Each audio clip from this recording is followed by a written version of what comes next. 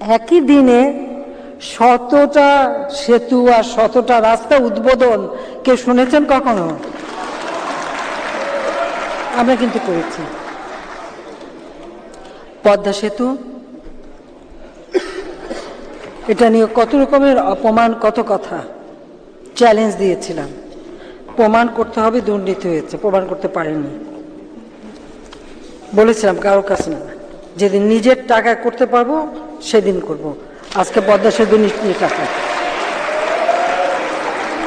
আমি যাবার পরে আমাদের এলিভেটেড এক্সপ্রেসওয়ে যেটুকু অর্ধেকটা শেষ হয়েছে, বাকিটা শেষ হবে। মেট্রো রেল মতিঝিল পর্যন্ত চলে যাবে, সেটা উদ্বোধন করব। কর্ণফুলি টানেল, সেটাও শেষ হয়ে যাচ্ছে। ওখানে যেয়ে উদ্বোধন করব। পদ্মা সেতু রেল যোগাযোগ। সেটাও শেষ করে দিচ্ছি, সেটাও উদ্বোধন করব। যোগাযোগ ব্যবস্থা সারা বাংলাদেশে একটা নেটওয়ার্ক আমরা গড়ে তুলেছি। এখন রাজধানীর সাথে যে কোনো এলাকার থেকে,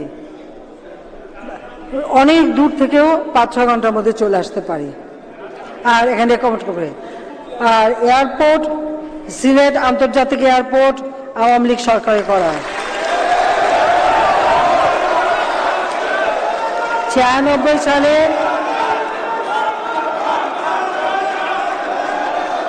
যখন ছিয়ানব্বই সালে সরকারে আসি, তখনই কিন্তু আন্তর্জাতিক বিমানবন্দর করে দিয়েছি। সেটা এখন আরও উন্নত করার প্রজেক্ট আছে। সিলেটের রেল স্টেশন, সেটাও কিন্তু আওয়ামী লীগ সরকারের করা এবং সিলেটে রেল যোগাযোগের উন্নতি, সেটাও আমরা করে দিয়েছি। ঢাকা, সিলেট, সেখানে চার লেন, পাশে আরও দুটো যাতে স্লো যান লোকাল লোক যেতে পারে, সেই রাস্তার ব্যবস্থা, একেবারে আধুনিক রাস্তার ব্যবস্থা করে দিয়েছি আর পুরোনো প্ল্যান বাদ দিয়ে একদম নতুন প্ল্যান করে দিচ্ছি। সেভাবে একদম সরাসরি চলে যেতে পারবে, সেই ব্যবস্থা আমরা করে দিয়েছি। ঠিক এইভাবে সারা বাংলাদেশেই যোগাযোগ ব্যবস্থার একটা আলাদা উন্নতি আমরা করতে পেরেছি। যা আঞ্চলিক, তারপর জেলা উপজেলা ইউনিয়ন ওয়ার্ড গ্রাম পর্যায় পর্যন্ত।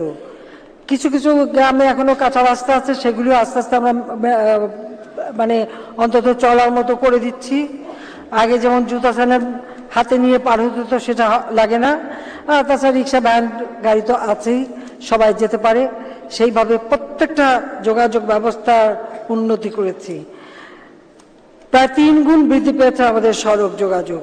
গ্রাম্য সড়ক যোগাযোগ সব কিছু যে কাজগুলি কোনোদিন কোনো সরকার করেনি, যেটা আওয়ামী লীগ ক্ষমতা আসার পরেই আমরা করেছি।